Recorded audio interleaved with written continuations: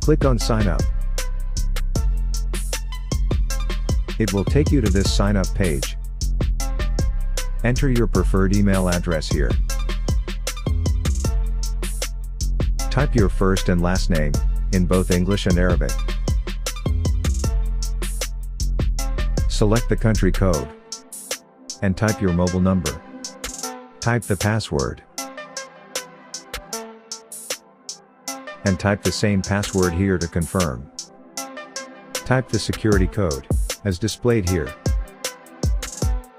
Click the checkbox, to agree to the terms and conditions. And click on continue.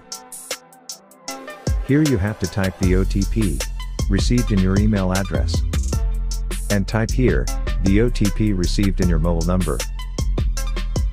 Once you've entered, click on sign up.